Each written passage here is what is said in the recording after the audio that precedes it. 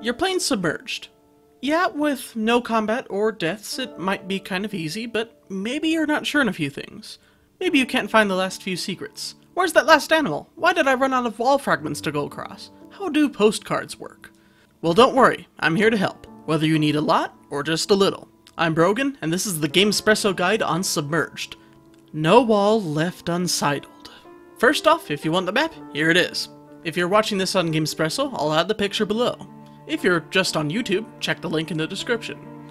But if you want to know how to figure it out without just looking at the map, keep watching. In Submerged, you play as Miku, and your brother Taku is injured and sick. Across the city, there are crates that contain supplies to help Taku. Opening them up reveals more of the story behind these two kids, and makes Taku get better while Miku's mysterious infection spreads. The crates are located on 10 ruined buildings. You can spot them by climbing up to tall places and marking them on the map with your telescope. You'll also mark secrets and boat upgrades this way. One good place to start this is by finding Bird's Eye, just northeast of the clock tower you live at. Right up to the crate areas, climb up, and there they are, usually near the top. Also, any building that appears a transparent black on the map is guaranteed to have a crate in it, so you can drive around and find them all even without the telescope. In addition to the ledges and edges, ladders and pipes, some areas have parts covered in leaves that you can also move across, if you're stuck, keep looking around and don't overlook these parts. Gathering the supply crates progresses the story and teleports you back home to the clock tower. But this also means you might leave before you grab the secrets.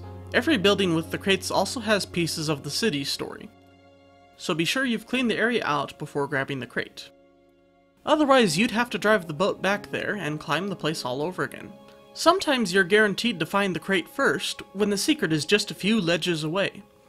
The secrets are scattered just about everywhere, but frequent use of the telescope and going to undiscovered areas of the map should get most of them.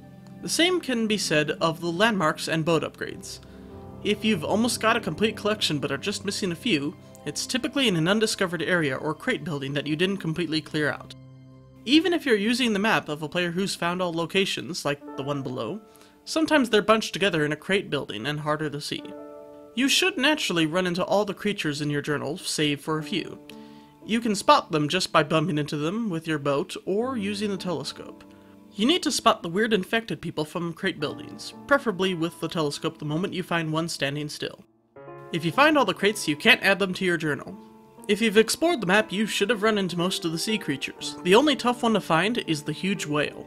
He can be found at random points along the edges of the city, but we'll always eventually come back to the spot over by the compass and the drowned bridge. Yes, around here somewhere. I swear, just keep driving around here and it'll pop up. Wave after wave, slowly drifting away. Ah, there he is. So everything in the journal has been found. What's left? The postcard feature. Pressing escape and making a postcard will pause the game and allow you to move the camera to take the shots you want.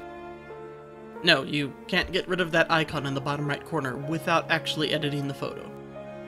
For the PC version, if you're in full screen, the print screen button on your keyboard doesn't seem to work. So press F12 or whatever you've mapped it to, depending on the system you're playing on, and the screenshot will be added to Steam.